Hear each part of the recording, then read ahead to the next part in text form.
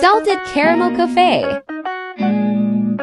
Sells many flavors as ice cream. Salted caramel ice cream is not the best. Must try pistachio ice cream here.